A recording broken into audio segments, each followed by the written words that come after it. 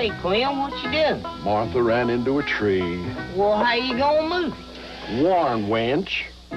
Hey, Clem, what you doing? And Martha run down the fence. Well, how you gonna fix it? Warn Winch. Hey, Clem, what you doing? And Martha got the car stuck. Well, how you gonna get it out?